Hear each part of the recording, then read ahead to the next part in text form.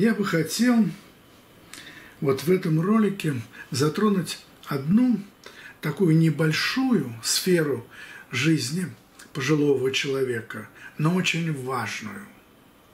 Это эмоциональную сферу. Ведь э, характерны специфические изменения вот в этой эмоциональной сфере человека. Как говорится, нервы уже не те, и мы не контролируем некоторое такое усиление каких-то аффективных реакций. Склонны к беспричинной грусти, слезливости. Вот наше активное правое полушарие, которое по своей морфологии негативно, оно становится доминирующим. И вот общей характеристикой нашего эмоциональной чувственной сферы вот в этом возрасте какая-то наступает временная неустойчивость вот этих высших эмоций, я бы сказал. А, это начинаем нагнетать катастрофическое мышление что все плохо, что вот э, болезни, что никому не нужны, что мы умрем скоро. Умрем, я это точно знаю. Но мы не скоро. И поэтому мы можем эти эмоции, вот это правое полушарие, которое негативно по своей морфологии, поднимать его, чтобы он эмоционально реагировал на события в мире, ну, на какие-то общественные явления с устойчивостью.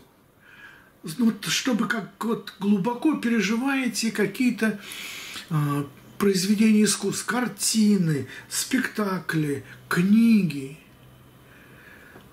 Поймите, вот здесь в данном случае у нас освобождается и время, и наши возможности, которые будут развивать нашу эмоциональную сферу, связанную с индивидуальным творчеством.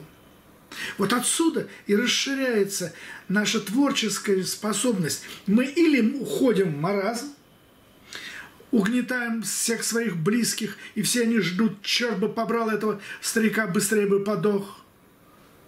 Или мы наполняем нашу жизнь любовью к людям, к живой природе, к искусству.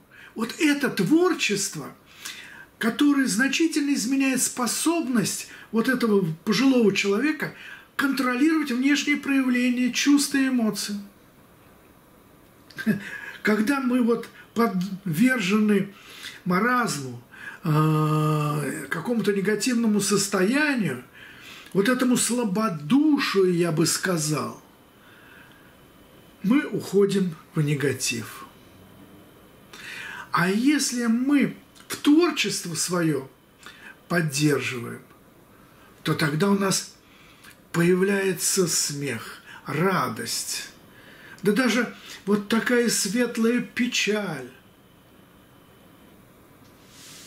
А вот эмоциональная черствость, снижение эмпатичности, когда мы не сопереживаем – вот это плохо, потому что происходит интроверсия, обращение в свой внутренний мир собственных переживаний. И вот снижается интенсивность положительных, радостных эмоций.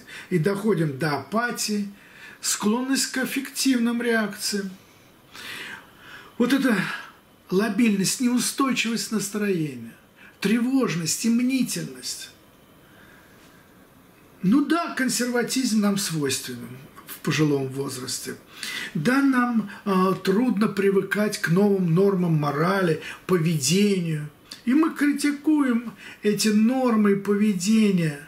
Но если вы соприкоснетесь с отражением реальности, искусства, если вы будете что-то творить, но не вытворять, когда вы в свое правое полушарие будете э, светлые, чувство сопереживания, эмпатию к другим людям, любовь, то тогда, тогда вам же легче будет жить. Вот поэтому так важно и пройти мой тренинг – это умение владеть эмоциями. Владеть эмоциями – это не значит их сдерживать. Владеть эмоциями – это значит их создавать. Значит, чтобы вы создавали хорошие, радостные эмоции, вам от этого будет и легче жить, окружающие вас любить будут и будут говорить, черт бы побрал, пусть живет этот старик, э, он нам э, радость какую-то приносит. Я в свой адрес только так э,